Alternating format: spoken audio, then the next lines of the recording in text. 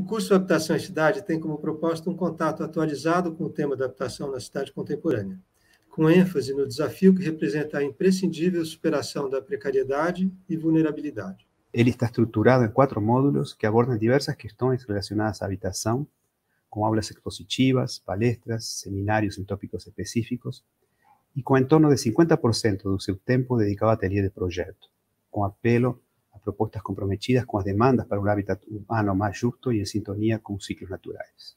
Os módulos são Habitar na cidade consolidada, Habitação e o desenho da cidade, Estratégias de intervenção em áreas vulneráveis e técnicas na construção habitacional. O curso está voltado para arquitetos, urbanistas e todos aqueles profissionais que enfrentam questões relacionadas à produção de habitação em contextos urbanos diversos. São professores parceiros Anália Amorim, Ângela Amaral, Elizabeth França, José Hollenberg, o Zico, eh, Jefferson Tavares, eh, Jorge Hauregui, Marcos Boldarini, Maria Tereza Diniz, Sérgio Ludman, Violeta Kubrusli, entre outros.